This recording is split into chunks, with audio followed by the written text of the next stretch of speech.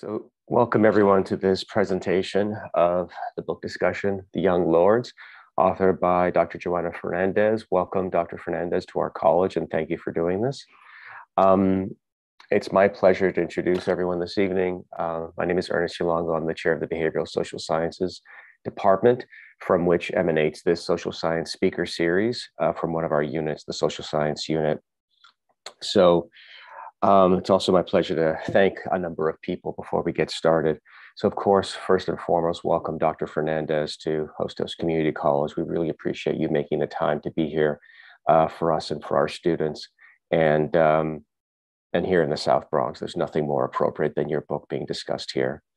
Um, I want to give a special shout out to Professor Marcella Bencivenni, the primary organizer of this event, who is the current union, uh, excuse me, unit coordinator for the social science unit in the Behavioral Social Sciences Department.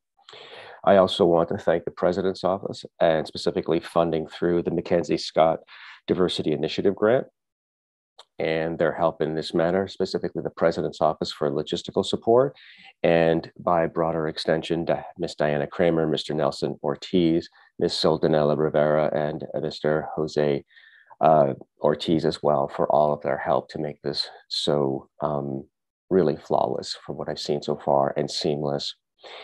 And with that, um, it is my very great pleasure to pass the baton to our former and soon to be returning unit coordinator and really the engine behind the social science speaker series, Dr. Chris Burrell. Dr. Burrell. Thank you. Good afternoon, everyone. Uh, as Professor Ialongo said, I'm, I'm Kristopher Burrell of the Behavioral Social Sciences Department, and I teach US history here at Hostos. Uh, the Social Sciences Speaker Series, of which this is a part, and the companion Emerging Scholar Speaker Series were established in 2014 and 2017, respectively. The Social Sciences Speaker Series specifically was initiated at the urging of our former colleague, Dr. Peter Roman, who was always thinking about more ways to improve the quality of educational experiences for Hostos students. The goals of both of these series have been to introduce the Hostos community, particularly our students, to cutting edge research in the social sciences as we define them here, and provide opportunities for discussion and inquiry about issues and topics relevant to the South Bronx and broader American communities. Both series have grown in popularity over time and included both nationally renowned and early career scholars who have been so generous in discussing their work and engaging with our students. Previous participants have included historians Eric Foner, David Nasaw, Joshua Freeman, Clarence Taylor, and Stefan Bradley, among others, as well as former Black Panther Ericka Huggins, former US Congressman Jose Serrano, and Dr. Rafael Ortiz of Lenox Hill Hospital. With that brief introduction of the two series out of the social sciences unit of the behavioral and social sciences department, I turn our virtual floor back over to my friend and colleague, Ms. Diana Kramer of the President's Office. Thank you so much, Professor Burrell, and good afternoon to one and all. Uh, my name is Diana Kramer, and I serve as the Executive Chief of Staff here in the Office of the President and it is my distinct honor to share with you some remarks from our dear president, Dr. Daisy Cocco De Filippis. And they are as follows. The turmoil of the 1960s was a catalyst for great and sweeping change. Individuals and organizations around the world sought liberation, self determination, and a world in which justice wasn't merely an idle promise. Community action groups were formed across the nation. San Francisco gave birth to the Diggers, Oakland to the Black Panthers, and Chicago witnessed the creation of Young Lords, it wasn't long before branches of the Lords existed in New York City and in other East Coast locations. Our guest today, the writer and educator, Dr. Johanna Fernandez, has drawn on a vast array of archival material to tell their story. It's a fascinating account of a critical time in the life of the nation and in the city we call home. Like the Young Lords, Hostos was created by a fiercely committed group of Puerto Rican activists and their supporters. The Black poet Langston Hughes once famously asked, What happens to a dream deferred? How were the goals of the young lords realized? To what extent? And what is their legacy? Our thanks to Dr. Fernandez for joining us today and to the Educating for Diversity Miss MacKenzie Scott's Gift, President's Initiatives for making this event possible. And thank you so much to the incredible faculty behind this event. Professor Bencivenni.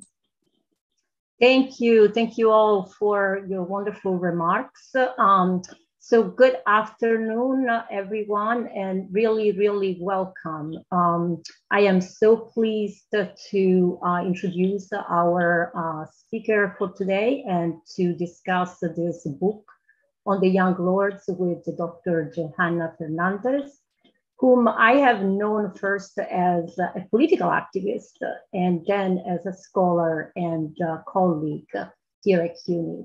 Uh, Dr. Fernandez is an associate professor of history at Baruch College.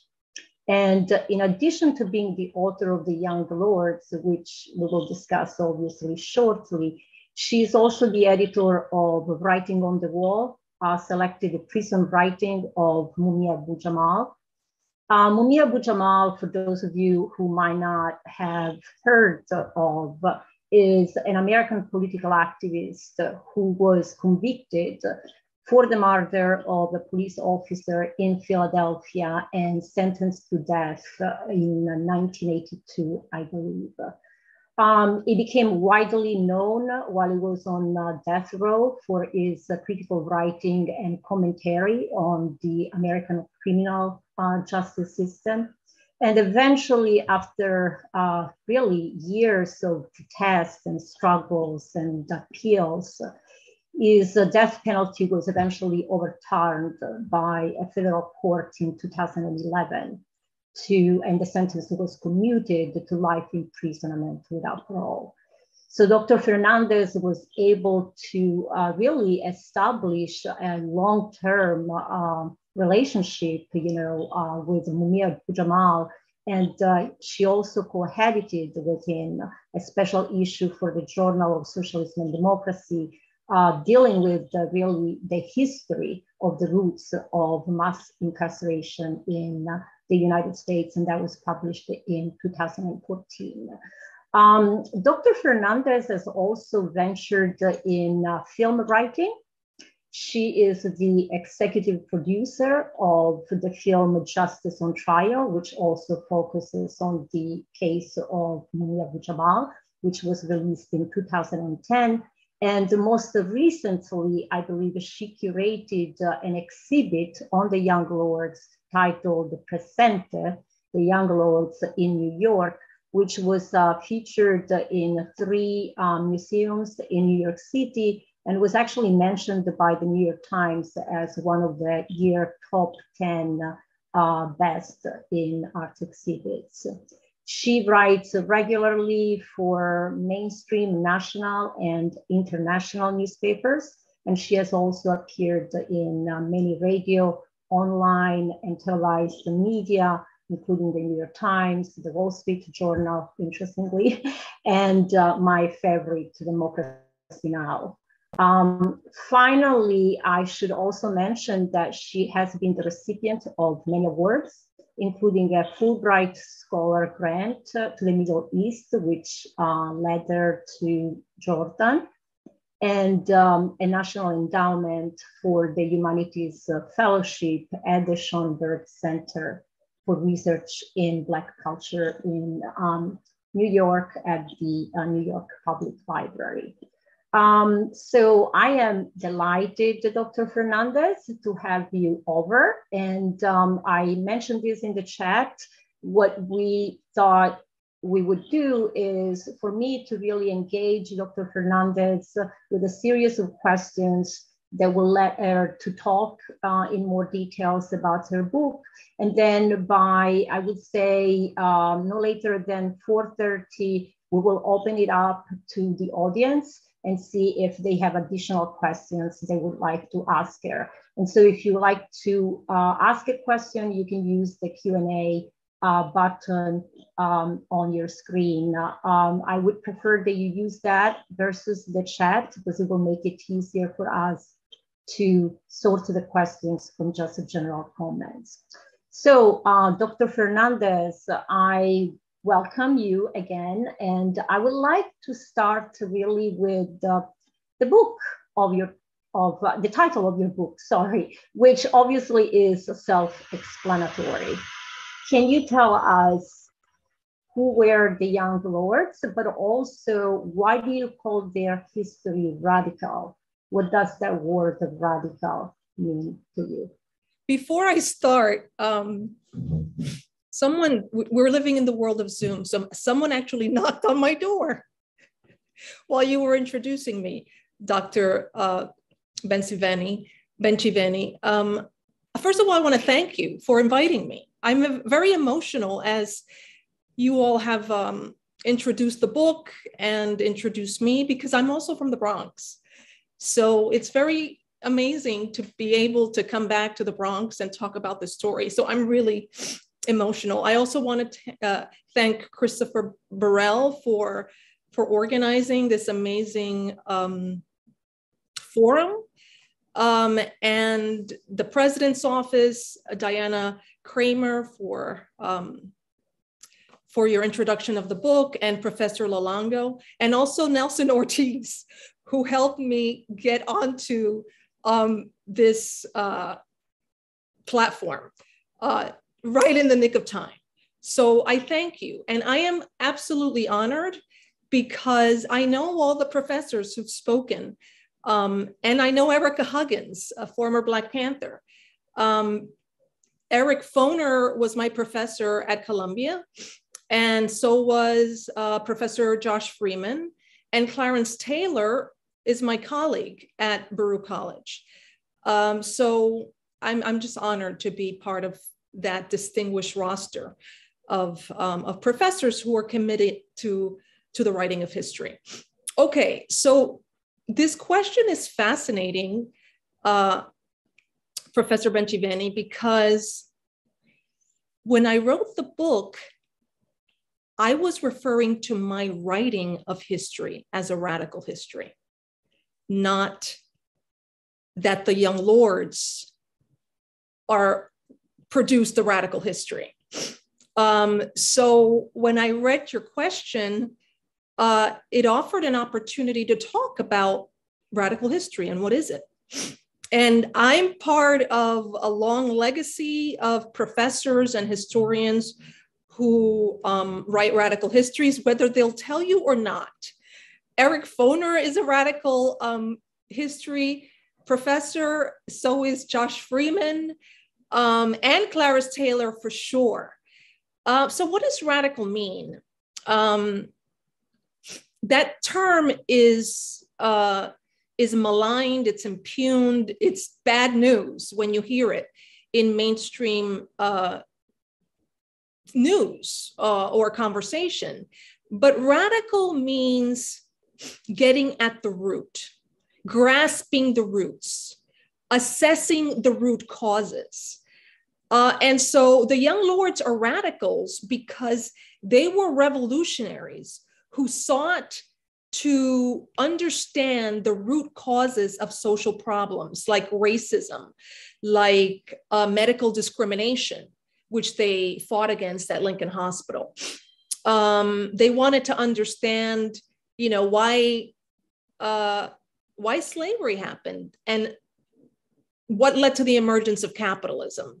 And they were anti-capitalist. But historians who are part of the radical tradition um, also seek to understand history. We're usually in the business of writing history that is value laden. And we do not believe that it is possible to be objective in the writing of history. Even when you think you're not, uh, you're objective, you're, you're actually writing from a perspective that often you're unaware of. Radical um, historians also seek to uncover voices that are usually not heard. So we write from the perspective of the working class, or we write from the perspective of racially oppressed people. Um, and we are committed to rigorous research, um, but but we want to write history in part to illuminate um, the problems in society um, and tip the hat to those who seek to transform it. and clearly the young lords were one of those groups. So tell us a little bit about them. All right, so I have some um, some slides here, which might be interesting as I um, as I talk about the young lords to to share them with you. So I'm going to see if this works. You know, we do this every day, but there's always a glitch. Let's see. Share screen. Let's see what happens.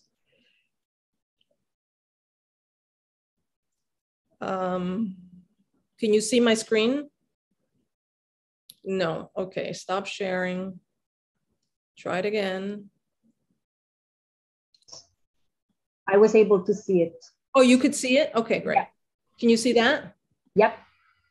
I, um, I'm hoping that this is visible to all, not just the panelists.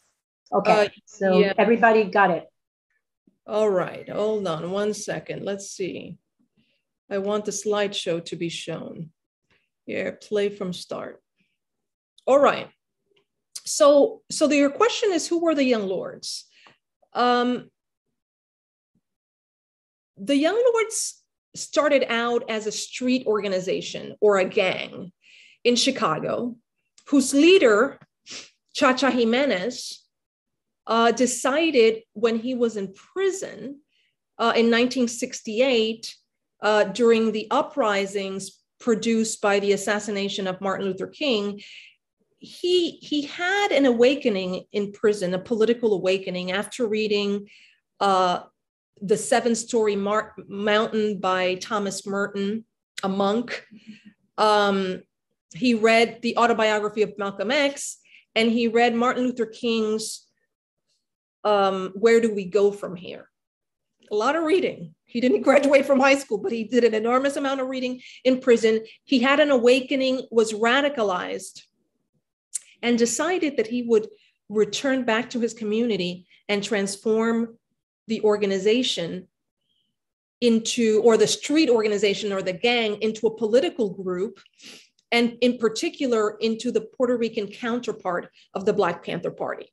Now, if you can imagine what this is like, um, what the process might have been like to actually convince your brothers in a gang that they should turn their attention to their communities um, and do something completely different than they previously had, you can imagine that that was a Herculean task. Um, but uh, these are the young lords. As you can see, this these are the young lords in Chicago. And by the way, they were Puerto Rican and Mexican Americans in Chicago. So one of the turning points that allowed uh, Chacha Jimenez to succeed was the killing of one of their own by a police officer in their neighborhood, Manuel Ramos.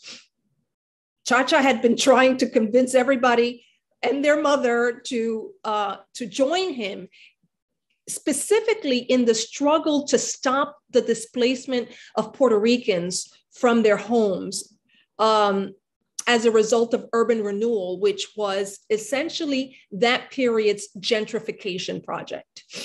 So when their own uh, was murdered by a police officer, the first thing they did was call Chacha Jimenez.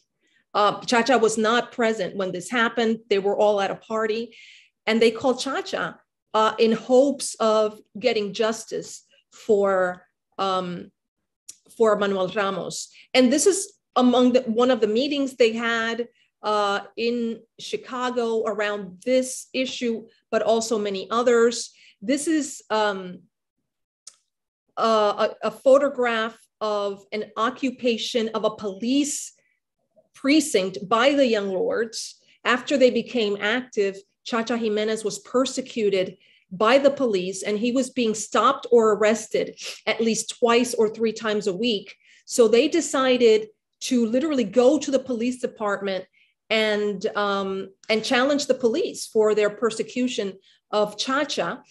Um, the FBI, who surveilled them uh, doggedly, said that there were 500 people at this occupation.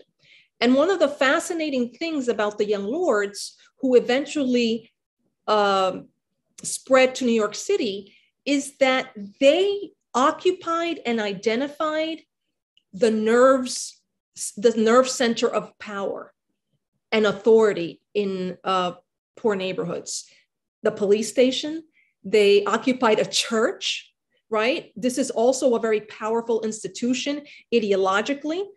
Um, and they occupied a hospital, Lincoln Hospital. So uh, that's the story of their emergence. They're connected to the Black Panthers because they decided to um, to model themselves and their organization uh, on the model established by the Black Panther Party. And the Young Lords were a pivotal linchpin in the emergence of the Rainbow Coalition. The Rainbow Coalition was uh, launched by Fred Hampton, whom you might have heard about because of the film. Um, what's the name of the film again? Uh, that was hot not too long ago. It's a film about his life. Um, Fred Hampton was a powerful young leader in Chicago, uh, and he launched the Rainbow Coalition, a coalition of oppressed people on the basis of class interest and across racial lines. So he brought together Black Americans in the Black Panther Party, Puerto Ricans and Mexicans in the Young Lords, and poor whites from Appalachia who had settled in Chicago, known as um, the Young Patriots. These are white folks. So this is a very powerful coalition that brought everyone together and started asking questions about um, exploitation and um, the exploitation of working class people of all races and how can we get together and challenge our condition. Uh, so uh, Fred Hampton and other members of the Black Panther Party said that the Young Lords were pivotal to the coalition because you can't really have a coalition of two, right? Of the Young Patriots with whom they were working and with the Black Panthers. Uh, so when the Young Lords emerged as an organization committed to fighting for justice in the Latino community, Fred Hampton saw this as an opportunity to fight for something much larger uh, than, um, than himself and the Black Panthers, uh, the Rainbow Coalition. So the Young Lords were, and all the young people of their generation were influenced by the civil rights movement and its radicalization um, during the Black Power era, which emerges between 1964 and 1965. And um, one thing that's really important to understand about, about this group of young people that included the Young Lords and the Black Panthers, but was a lot broader, that fought against the Vietnam War, is that they transformed the culture of American society. How? These movements, and the reason why we uh, talk about them and write about them, transformed the relationship between people of color and white Americans. They raised the problem of gender oppression and made this term gender um, a term used in American society. And they were also among the first uh, people of their generation to challenge US foreign policy and our, uh, the country's war in Vietnam. This is huge. So this was not a revolution um, that led to an overthrow of the American government, but it was a revolution that changed the consciousness and culture of American society. The Young Lords were mostly Puerto Rican youth um, who organized in the cities. They were working class, uh, and they wanted to expose the country's um, quiet colonial project in Puerto Rico. They wanted to understand who they were. Who am I? Why am I seen a, as an outsider in my society? That's a very quintessential question that young people ask themselves Who am I? Um, and what's my relationship to, to my peers and my society? And they discovered that the reason why their parents were here was because of US political and economic policies on the island, which essentially pushed out a third of the people of the island to cities like New York, Chicago, and Philadelphia after World War II. Imagine this is a massive, epic displacement of people. A third of the people of the island of Puerto Rico were displaced after 1947 as a result of the United States industrialization project of the island, which failed to absorb many of the peasants and the people it displaced. So, migration to the United States was the escape valve. And Puerto Ricans came to take the hardest, least paid jobs in New York, Chicago, and beyond. Um, and they were pushed around and, and thought of as inferior. Um, so the young lords are important because they helped their generation understand their place in America and understand this process of colonization and how it influenced their daily lives, both here in the United States and, um, and in Puerto Rico. Um, these are, I'm showing you, um, I'm so, showing you images from their newspaper, Palante, which uh, they published biweekly in Spanish and English. Uh, and this this says Jibaro sí, Yankee no. Um, it's essentially uh, a call against U.S. colonialism. So Yankee no, and um, and people who are close to the soil should be the victors or farmers. Um, all right, let's see if I can.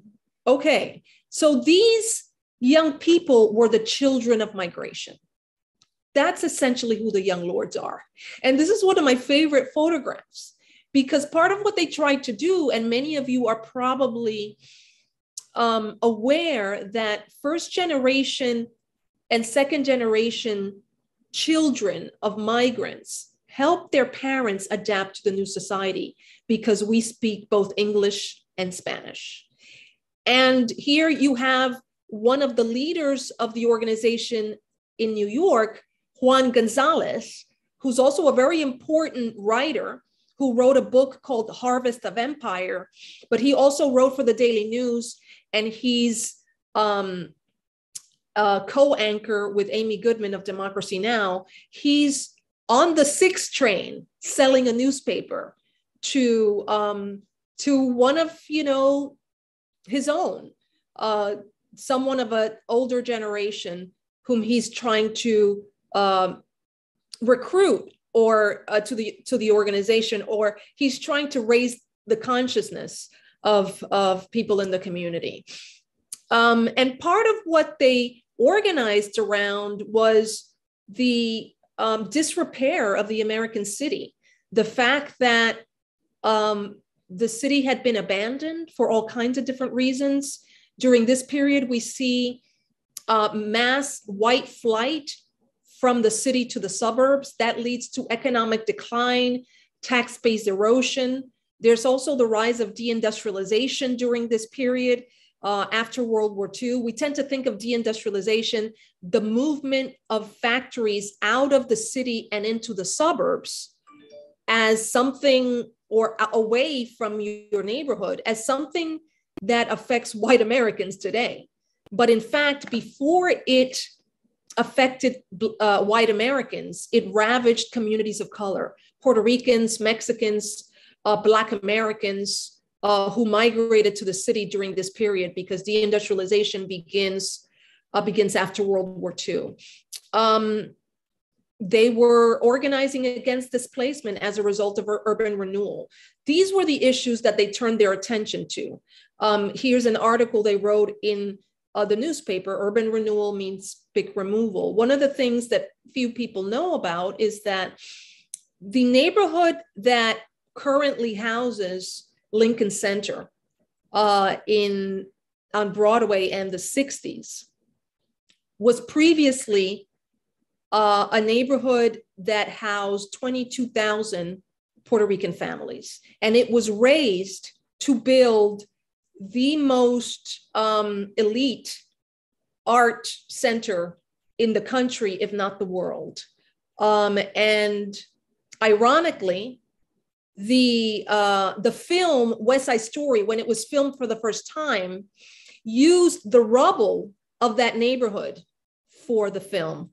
Um, so, so this was the world in which the young lords lived, and this was the world that they wanted to transform. Finally, they were self-proclaimed revolutionary nationalists who believed in the liberation of Puerto Rico, and they were self proclaimed socialists who had a critique of capitalism and wanted to build a socialist society organized around human need rather than um, profit. Um, these are some of the images of the young lords in East Harlem. Um, and I love this photograph because they had such a tremendous sense of of um, aesthetic. They looked hip and happening, but a lot of them were nerds too, and I appreciate that about the young lords. Um, this gentleman here, Mickey Melendez, is um, responsible for for um, initiating the organization and bringing people together here in New York. Um, so I'll stop there. There's a lot more that can be said their first campaign was a garbage offensive, um, which they decided to focus on because they were community activists who polled the community and asked them, What do you think we should focus on? Police brutality, revolution, uh, the liberation of Puerto Rico. And the neighborhood people said, Forget about all of that, the garbage. Um, and they proceeded to sweep the streets for weeks and weeks on end when the garbage was not picked up, they deposited in the middle of the street, blocked traffic for days. Um, and they did this consecutively over many days and weeks. It caught the attention of, uh, of the media. This is the chairman of the organization in New York, Felipe Luciano.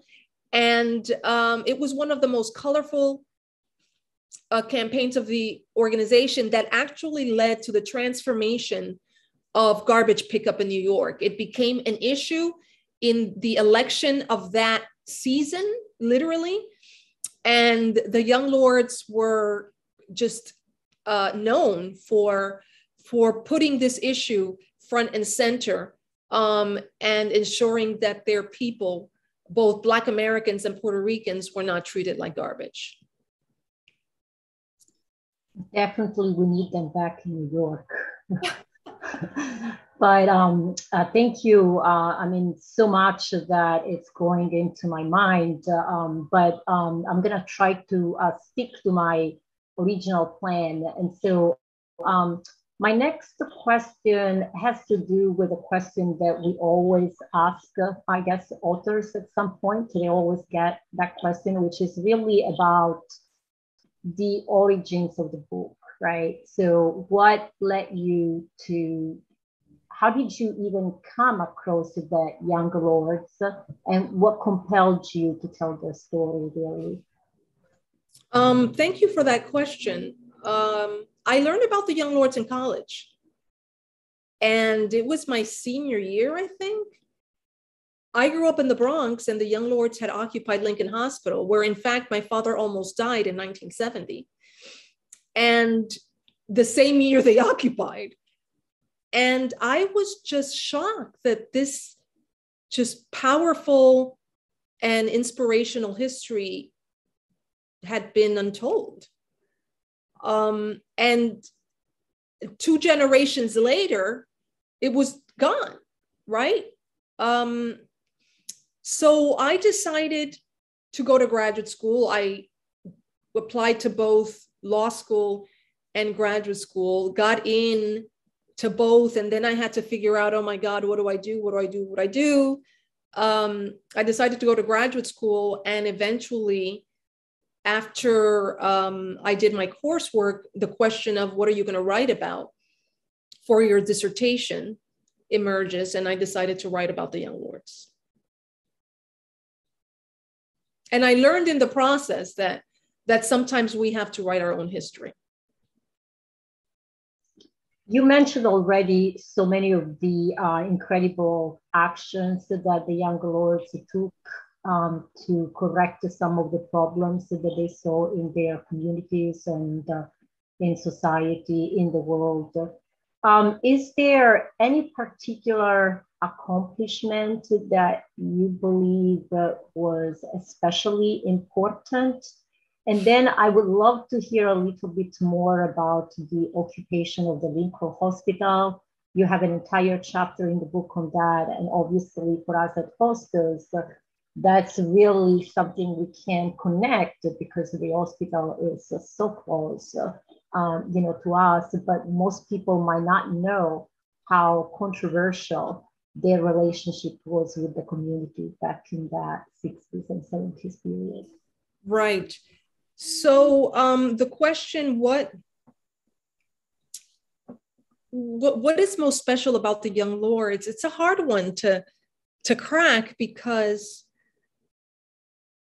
I think they were successful not because they did one thing, but because they committed themselves to uh, organizing at the level of the community consistently over time.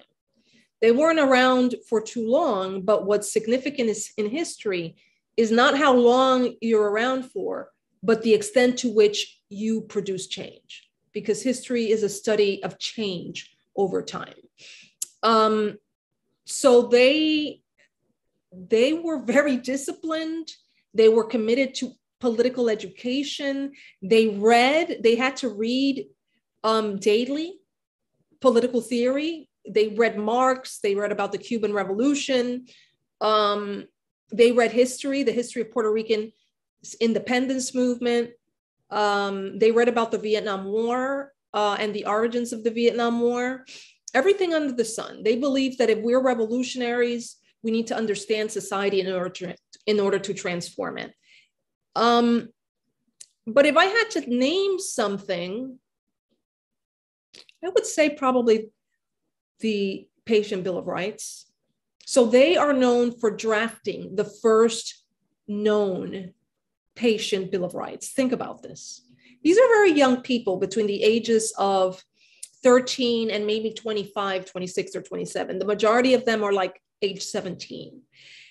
And alongside of workers at Lincoln Hospital and doctors um, and people in the community in the aftermath of, of the death of a Puerto Rican woman as a result of a botched abortion um, in 1970, the same year that abortion was legalized in New York State. And this is an interesting conversation to be having now because um, the right to to to choose what we do with our bodies as women is about to be overturned um, in the Supreme Court because of a leaked uh, document um, a few days ago. So a Puerto Rican woman dies because of a botched abortion. Essentially, a resident was put in charge of performing the abortion and he failed to look at her record. Um, she had a heart problem. And if you have a heart problem, uh, a saline abortion was a contraindication. But the resident didn't look at her record and she died during the procedure unnecessarily. Um, and so after this happened, the young lords got together. Um, someone leaked the record of what happened to them. So someone leaked to the young lords a record of what happened to this woman, and they organized the campaign around it that summer of 1970 after they occupied the hospital. This is this happened like the day or two after they occupied the hospital. Um, and they forced the hospital to have a public meeting explaining to the community exactly what happened medically, something that has never happened apparently in the history of medicine, that, that doctors are forced to explain to a community a medical procedure uh, that went south. Um, and they also um, tried to uh, console her family, get her involved in the struggle. Um, they were looking for um, uh, what what the, the what's the word I'm looking for? Um, compensation, essentially, some kind of compensation. Not that the death of a of a person can ever be uh, resolved or made whole. Um, and they proceeded to to draft the first patient bill of rights that established some rules about this, the importance of talking to the patient about their health. Um, the medical profession was was unreconstructed. It was backward. It was it was very conservative um, and racist. But it was not only racist. Uh, doctors were seen as gods who were disconnected to their patients, regardless of, of race. And part of what they established was a series of rules. The patient has a right to know, and the doctor has a right to discuss the patient's conditions with, with the patient. Uh, they also said that healthcare is a human right and profit shouldn't be in, involved in the transaction. Um, and a number of other uh, points that I'll show you um, later on. Um, but what's the so that's the that's the that's probably I think one of the most impressive impressive um, gains of the organization because this is something that we all take for granted today. You go to a hospital the world over and you you actually see a patient bill of rights. That's uh, that's really important, and I did not know that. So um, that's something that should be mentioned in uh, history textbooks, I guess. Which takes me to the next question I wanted to ask you, which you in some ways alluded to um, in your um, you know earlier remarks about um, you know the gap right that filling the voids when we are telling those uh, those stories. So in your case, I mean, the, the void is that the fact that the history of the young lords has not been told, had not been told, not even within American radical history. So my question to you is, why do you think their story has been overlooked, was overlooked by other scholars in the left? Um, and how, at what point did you really realize that that story had to be told. Um, yeah, tell us a little bit about, I guess, your discovery uh, in the historiography, or better off, the lack of. I think that the writing of the history of the 60s is very political. Um, so historians started to write about the 60s in the 1980s during a very, very conservative period, during the rise of um, conservative reaction in the United States, the rise of Reaganism. So that influenced the, the period um, within which historians started writing, influenced their writing of history. So for, for those historians, they wanted to emphasize the good, the quote unquote good 60s, the civil rights movement, the history of Martin Luther King and the Southern Christian Leadership Conference that he founded. Um, this was a story of uh, victory against uh, white supremacy and segregation. And it was a movement forward for American democracy. So for a very, very long time, historians interested in this period wrote essentially about the civil rights movement.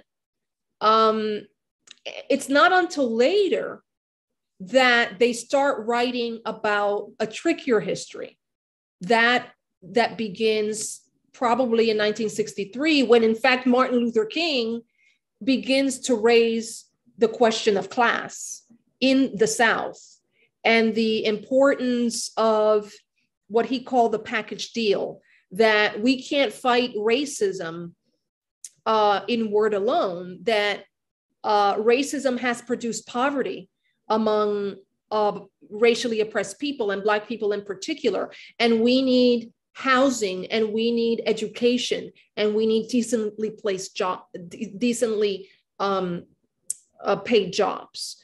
Uh, so that's what he called the package deal. And over the course of his life, Martin Luther King was himself radicalized. And by the end, people called him a revolutionary. Uh, he also challenged the United States involvement in Vietnam.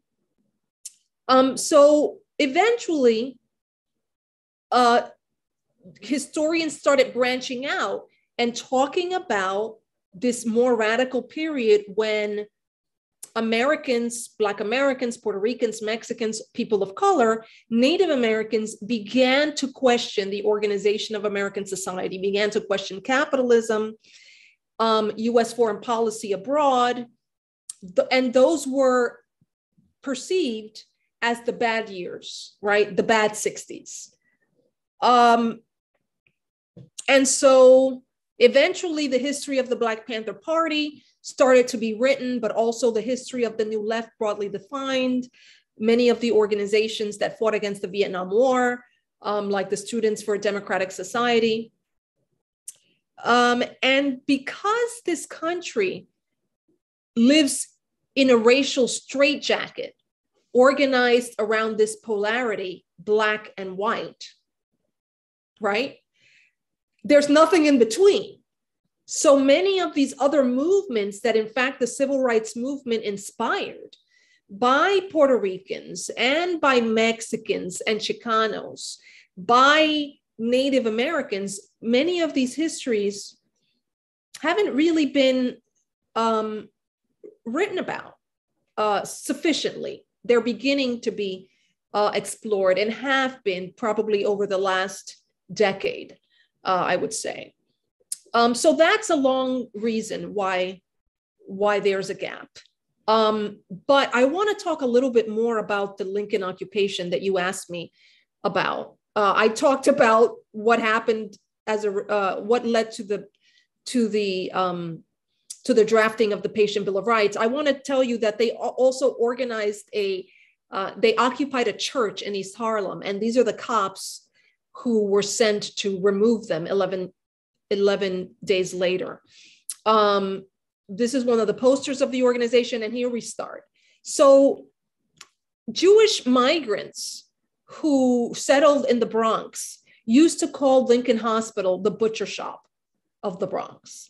And so um, the Young Lords, Denise Oliver in particular, one of the members of the organization, uh, uh, is, is the artist, and she publishes this artwork in the newspaper. But how does it start? Um, all right. It starts with a complaint table. The Young Lords grew and they spread from East Harlem to the Bronx. And they were organizing in the South Bronx, and they knew that Lincoln Hospital was struggle. So they helped organize a patient worker complaint table.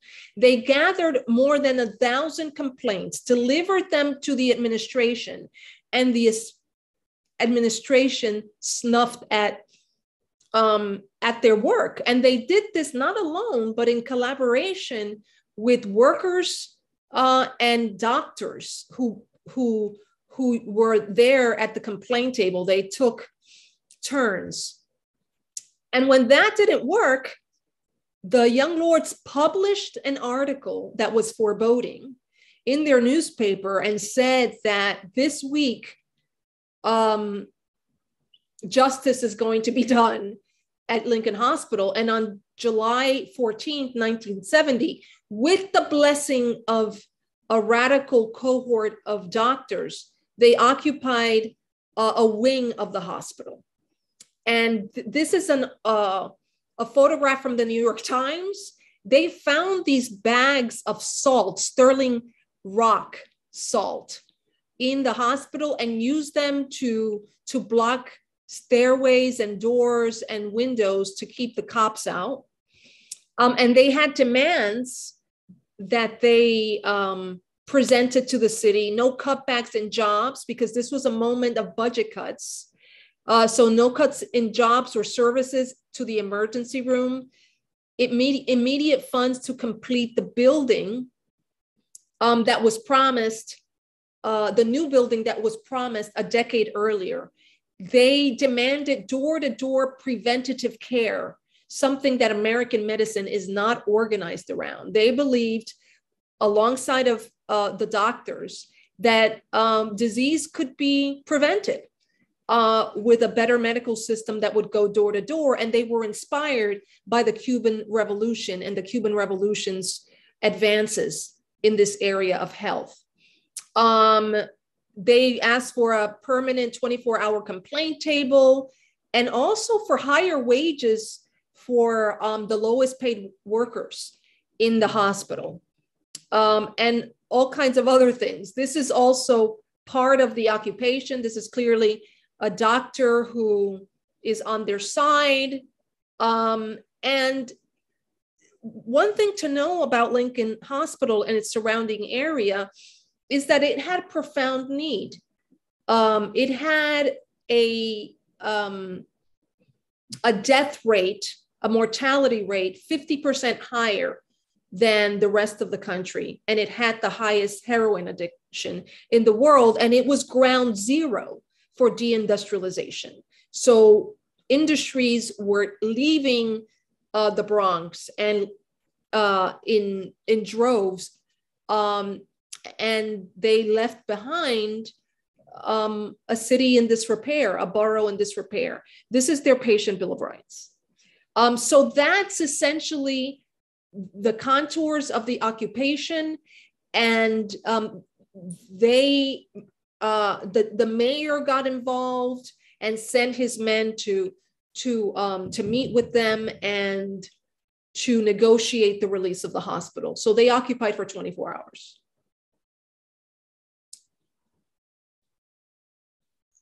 Thank you. Thank you for sharing that, particular story. Um, so I have a, a, final question before we can turn it to the audience. And that question has to do with um, uh, your research. I mean, among the, the, the, many wonderful things about your book is that your research is just so incredibly detailed. I mean, you have used the oral interviews of the Young Lords newspaper that you showed us some pictures, Palante, the personal papers of the Young Lords, along with all these sources related to the police and the FBI files, including something I didn't know even existed, the lost and the shoe files, um, which I learned uh, consist of over 1 million uh, files of New Yorkers that were kept by the New York City Police Department between 1954 and 1972. So can you tell us a little bit more about your research process and uh, is there something about your sources that really surprised you that you didn't know that kind of shocked you, you know, when you found out? Um, so there's so many things, and I literally turned myself into Inspector Gadget because there was very little, there was very little information.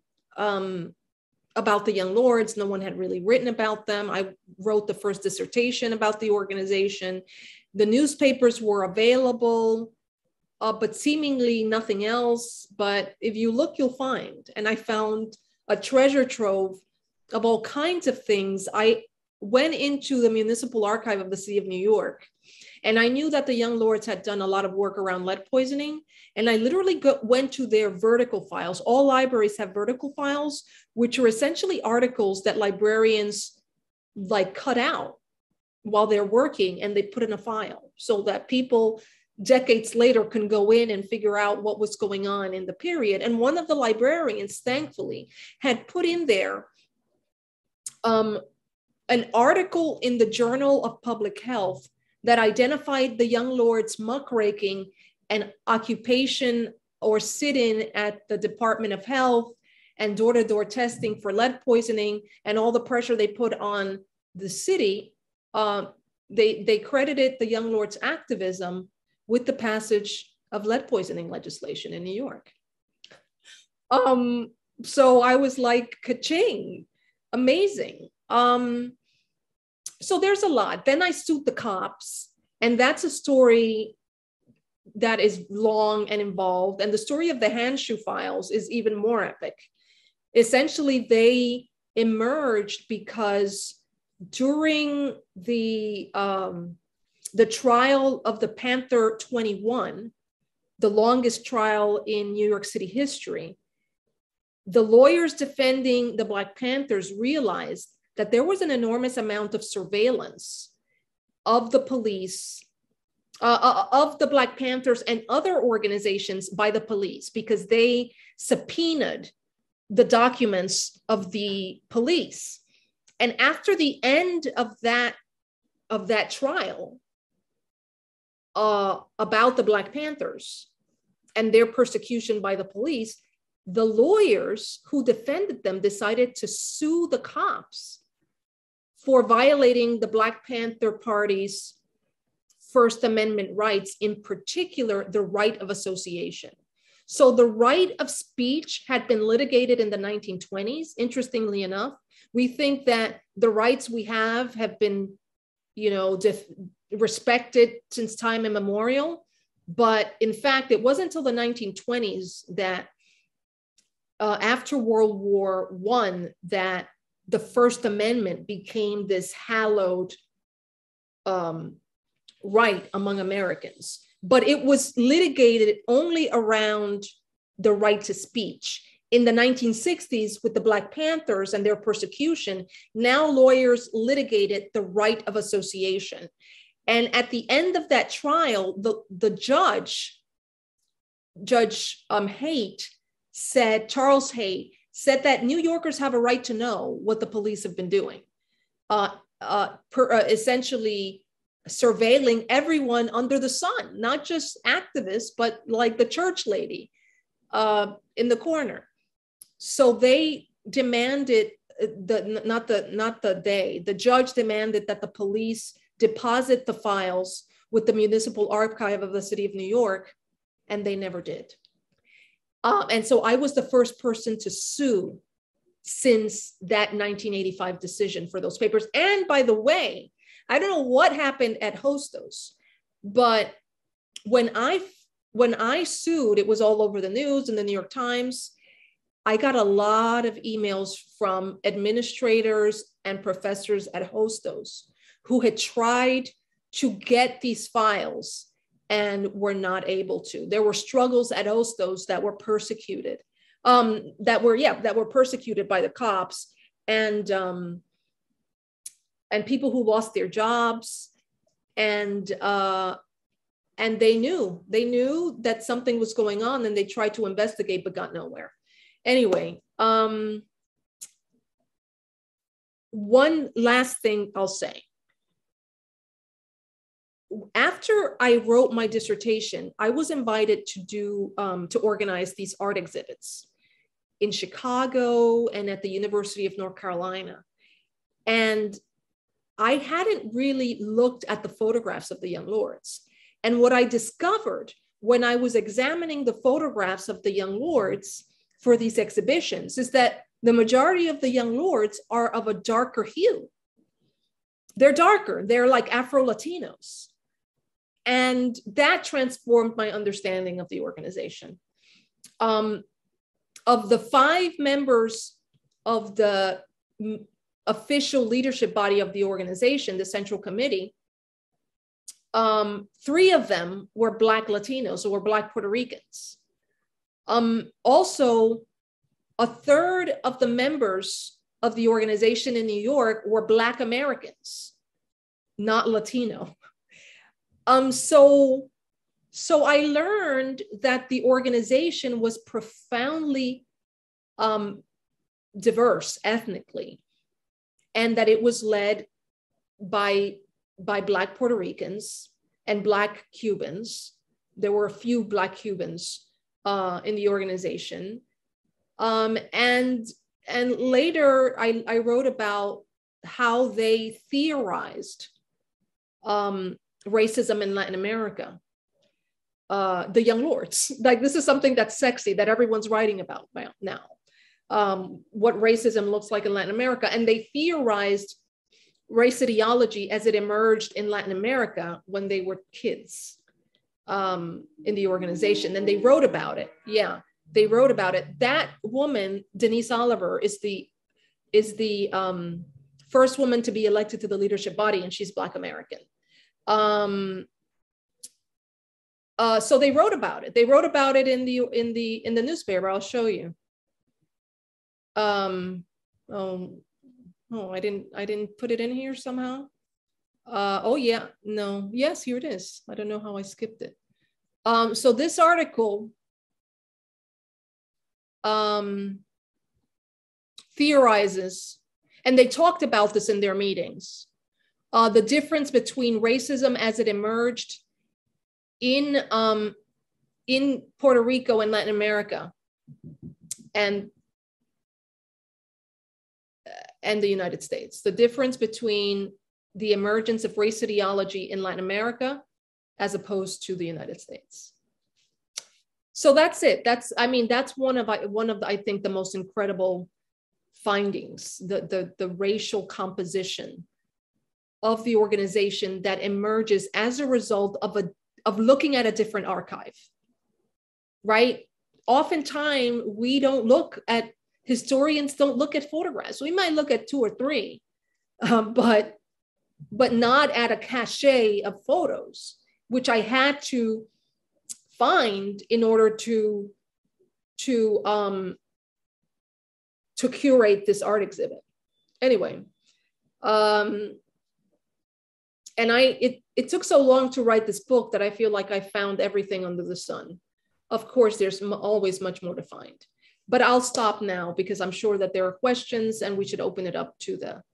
Yeah, there are a couple of questions, uh, um, uh, and uh, if you can see them directly on the QA, Dr. Fernandez, it might make more sense for you. Oh, oh um, to get them. Otherwise, I'll read them to you. So let yeah, me know. Uh, yeah uh yeah i'm terrible with these things but let's see. Okay yeah well i i have no problem like sharing them and reading them over. So um, we have uh, uh, right now two questions. Uh, the first one from professor Ozuna.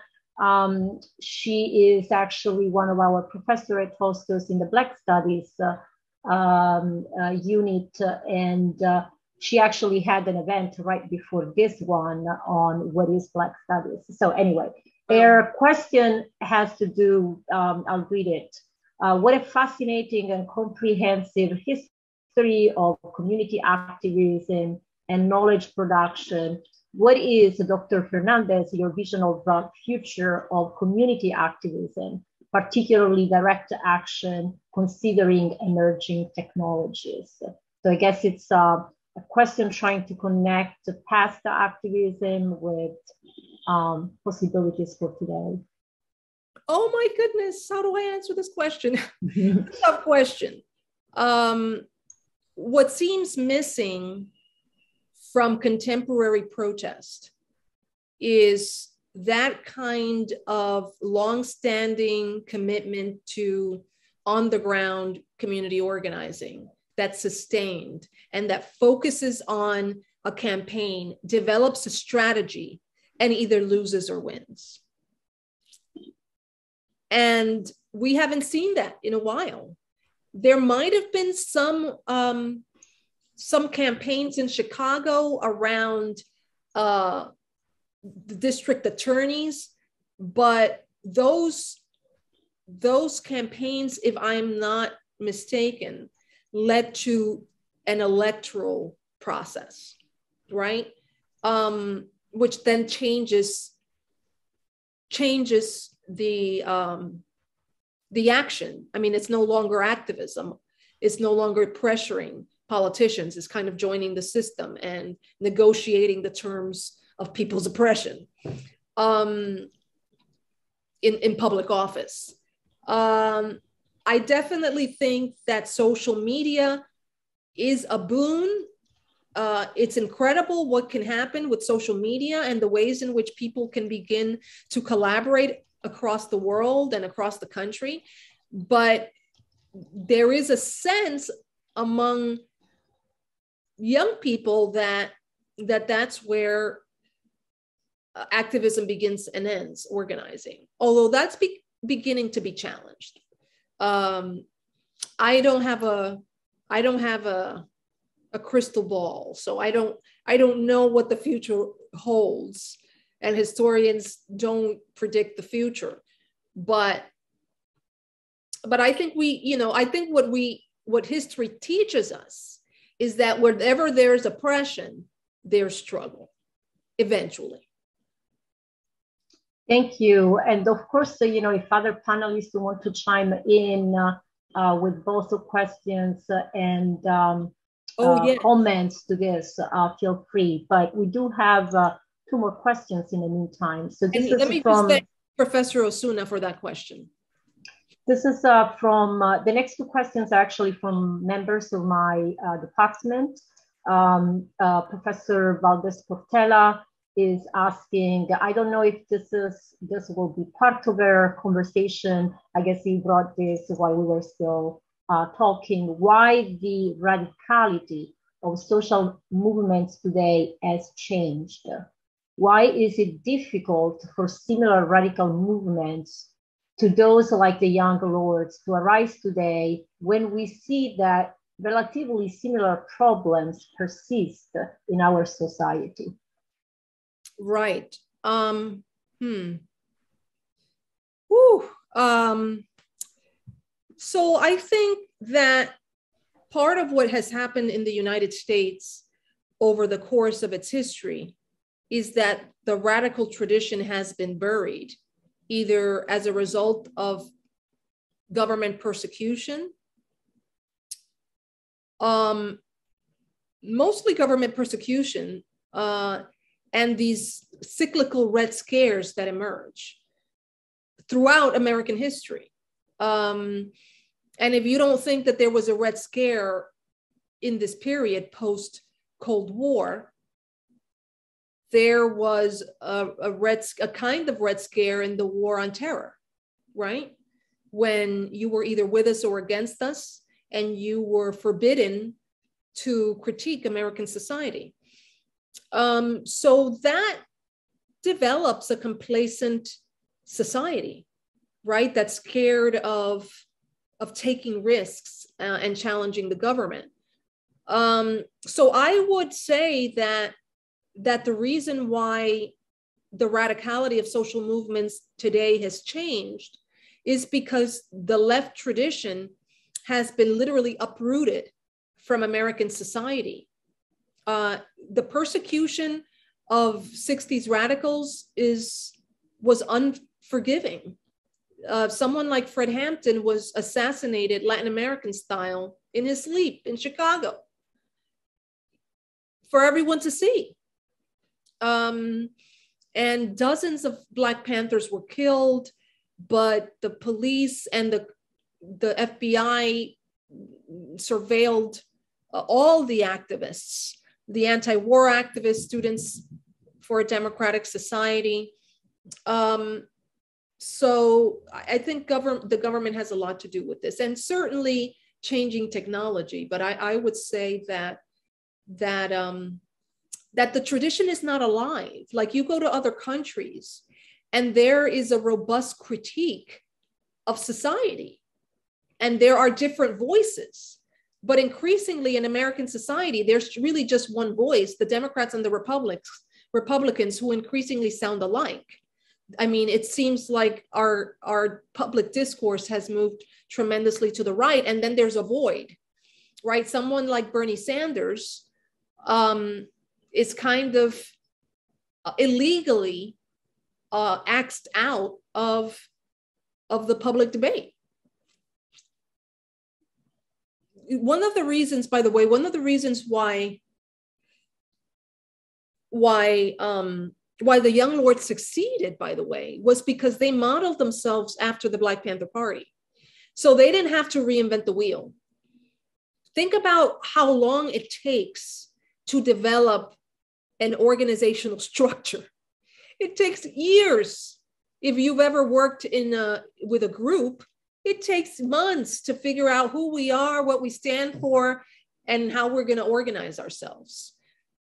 Um, and the Young Lords followed, you know, a model that was successful and ran with it.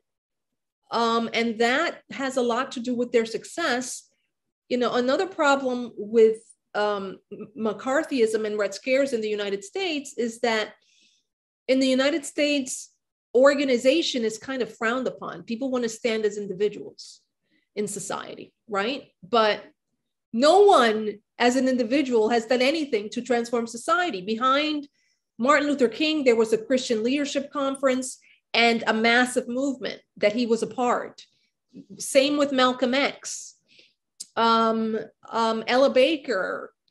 Uh, um, these are people who who committed to organization and developed uh, politically in the context of organization and accomplished what they did collectively alongside of other people. Oh, Oops. Marcia. Yeah, I, I was too quick. I mute, unmuted and then quickly muted myself again.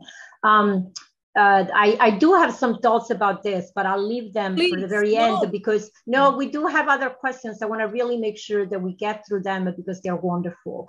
Uh, the next question is from Professor Hoyland, uh, a sociologist in my department. She asks, can you talk about the role of women uh, Iris Morales or Iris Morales uh, came to Hostos several years ago to discuss her books and experiences.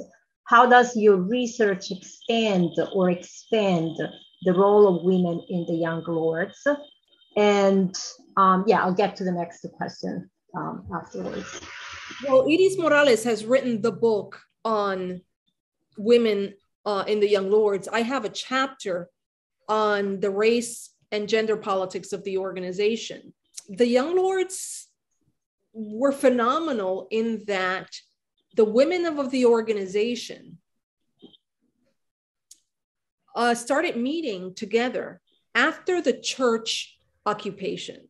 So after the first church occupation, I didn't talk about it, but they occupied a church in December 1969. That gave the organization an enormous amount of publicity, and there was an increase in membership. And therefore, with an in- increase in membership, uh, more women joined the organization. There were very few women. Women were present at the beginning, but men outnumbered women uh, their numbers grew and they started meeting together under the leadership of people like Iris Morales and Denise Oliver uh, and others, and talking about what was wrong and and how you know there was a discrepancy between the high aspirations of the organization around issues of gender equality and what folks experienced, women in particular, on the ground. Um, and they started challenging the men of the organization. It didn't go well for some time.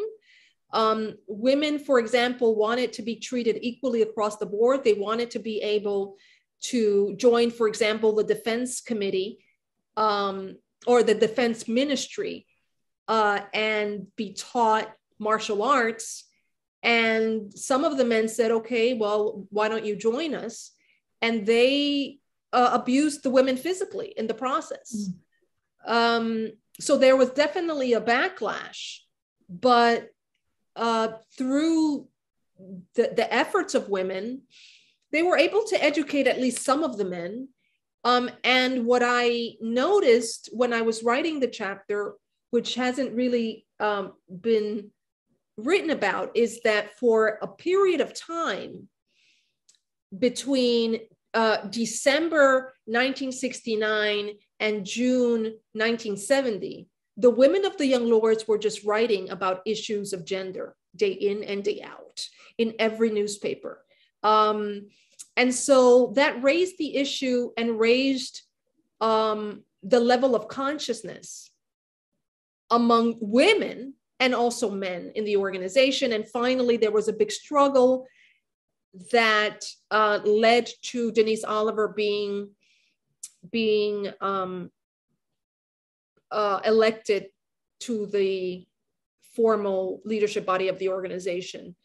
Um, one of the fascinating things about the organization is that they had both a women's caucus for a period and a men's caucus in which women and men talked separately about the issue of gender um, and how they had been socialized in the ways they were, either as women in, in the realm of passivity or, or um, men in the realm of aggression.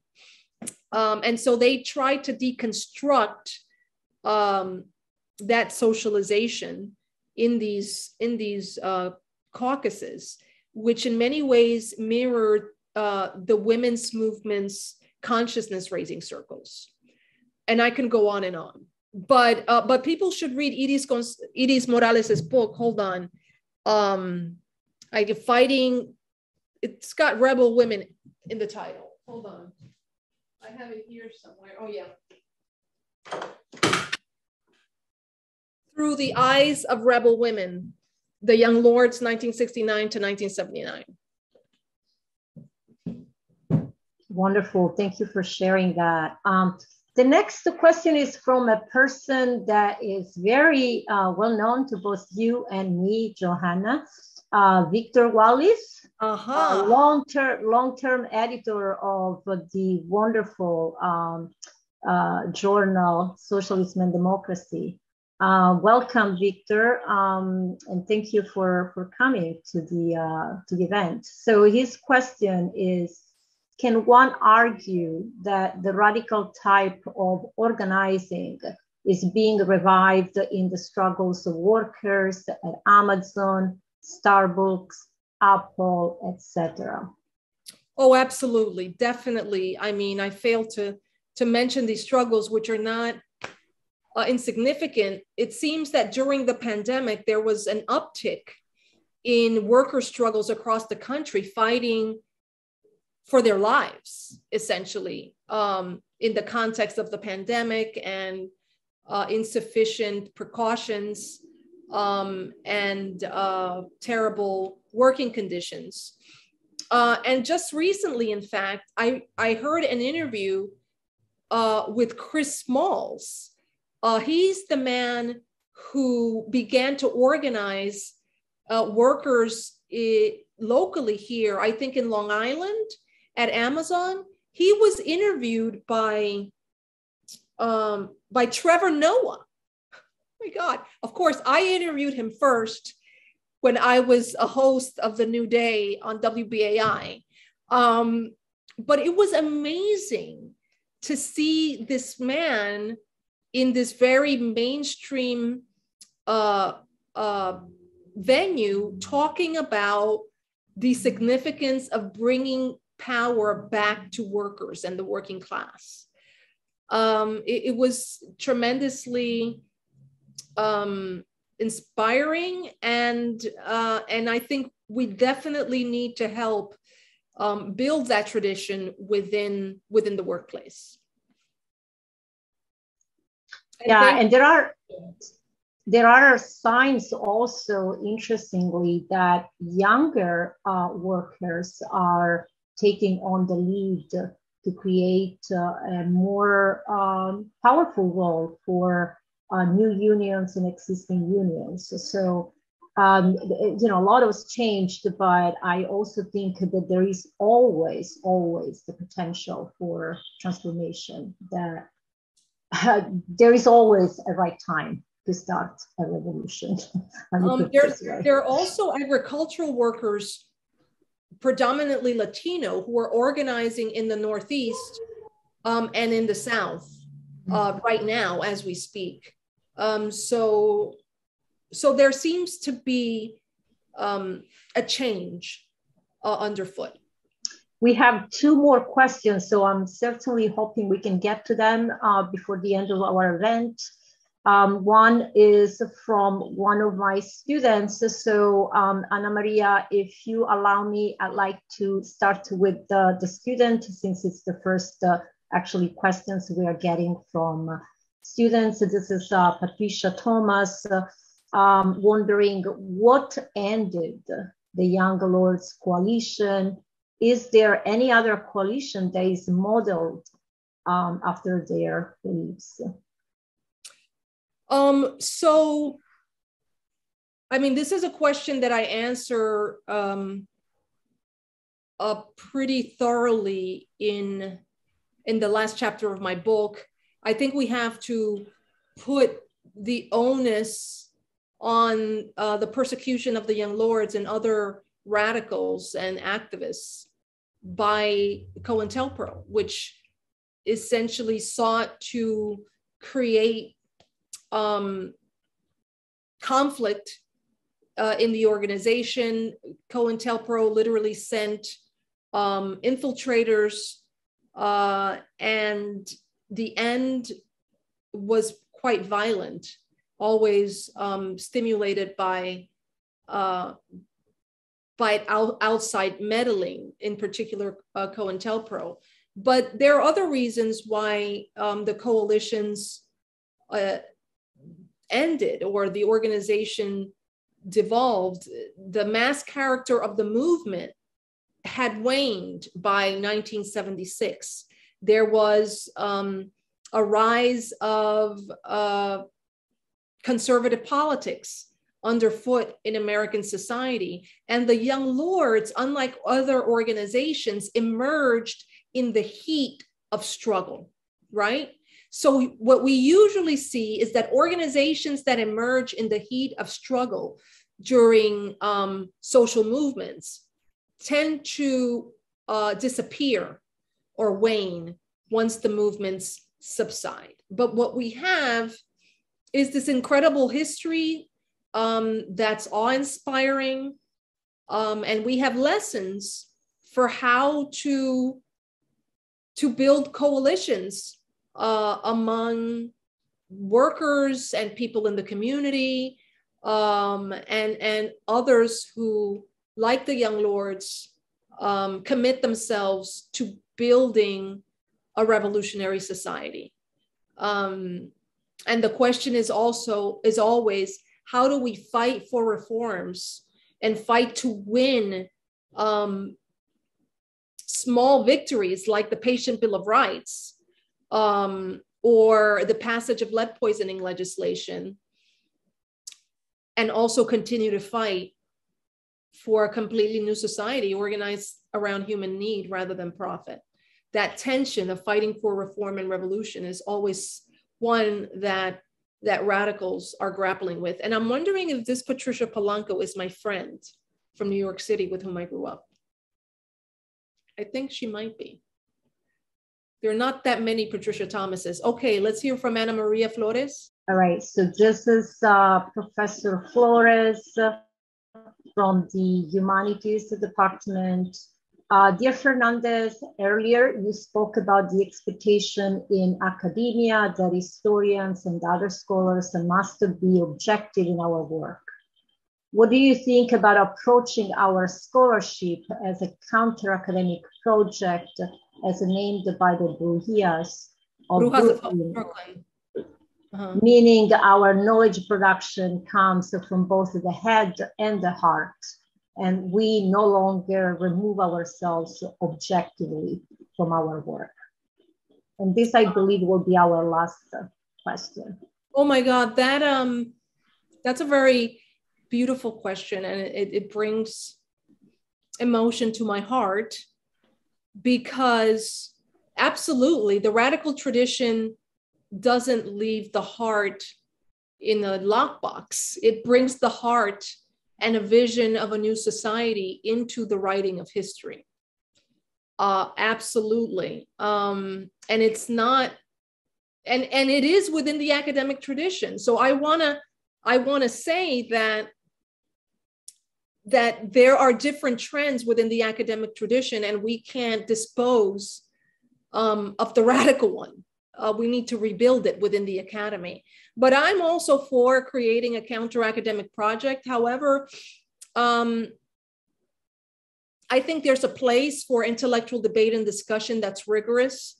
uh, in society everywhere, not just in the academy. Um, and I fear that some counter academic projects could turn anti-intellectual, although I'm sure that Ana Maria Flores is not uh, in that brigade. Uh, I just want to say that one of my reviewers wrote um, that Professor Fernandez's work is imbued with feeling. And I was just honored. Most professors would run screaming into the night if their work were described but i'm confident enough in the in the scholarship i produced. Um and uh and when i read that i that's exactly it. I you know we read books that change our lives. Like knowledge is profoundly liberatory. And and we need to be part of the tradition that seeks to change people um, their aspirations and their outlook on society um, and their determination for fight for a different world. Uh, and you need to do that with feeling. And the history of the young lords is imbued with feeling. I mean i cried reading documents um, of the organization. So the last thing i'm going to say is this very moment in the history organization they occupied the church and they were arrested. 107 of them were arrested um, and they had to go to court.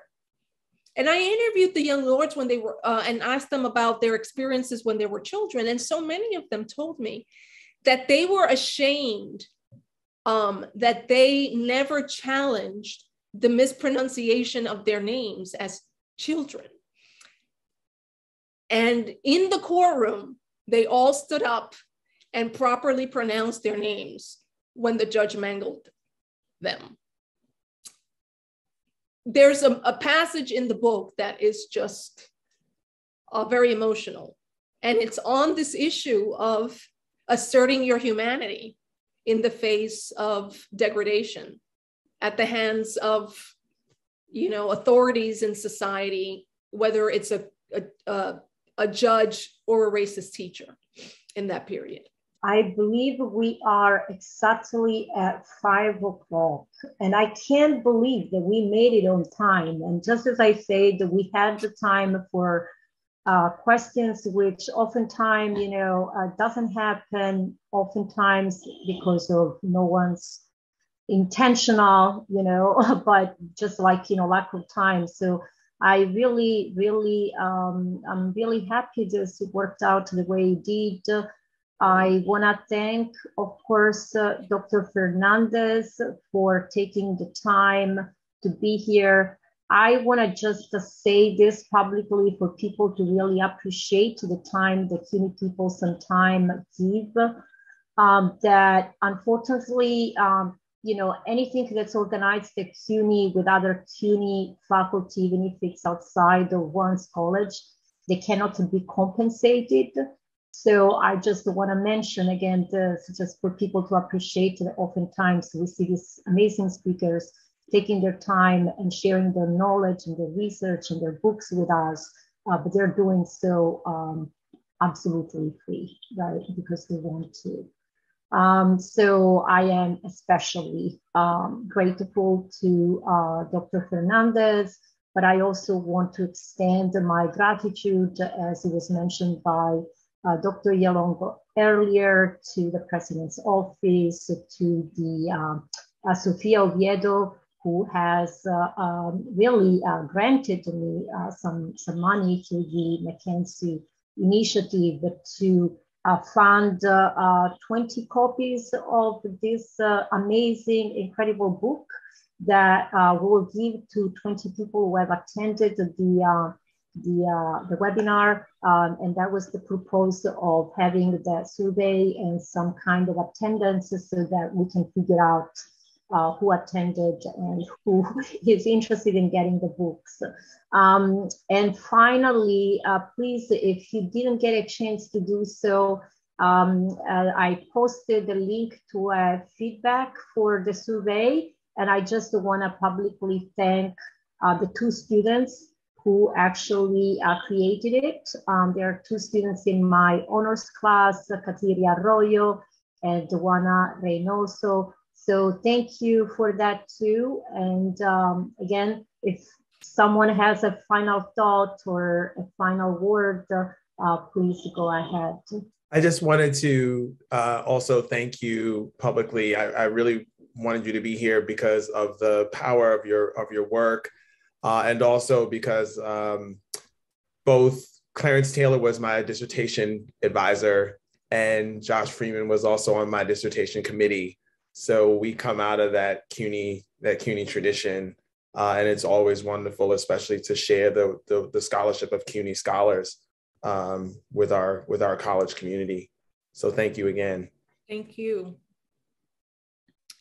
And I'd like to publicly thank uh, Victor Wallis only because I was looking for for one of my chapters uh, today. I'm writing something uh, for another venue, and I found one of Victor's edits of my chapters. He read pretty much the whole book. Um, and yeah, and was an incredible support um, throughout the process. So I want to thank him publicly for all the all the work he did on my writing and, and my work. And also, we want to uphold the the journal that we are both um, involved in editing do you want to put it up? The, the journal Socialism and Democracy. And uh, before we leave, uh, I think uh, my chair, uh, Dr. Ialongo, would like to just give us the final uh, salute, I guess. And then uh, Nelson, I guess you can take it from there. Um, I just want to thank you very quickly for your wonderful discussion. Um, I, like my colleagues here, am an historian, so I very much appreciate your discussion about resources, about fighting to get some stuff that at first doesn't seem available. I don't expect you to speak about this, but I was very satisfied to hear you utter, almost in passing, but it meant so much to me. Sometimes we have to write our own history. And there isn't a word that I ever put on paper that isn't reflective of my history, my people's history, individually and broadly spoken because we have an obligation to speak to it. So I really appreciated that so much. Thank you for being here. This is a wonderful event for the college, for the department, for everyone in attendance. Thank you. You said it eloquently. Thank you. Thank you again, everybody. Have a safe uh, and good night.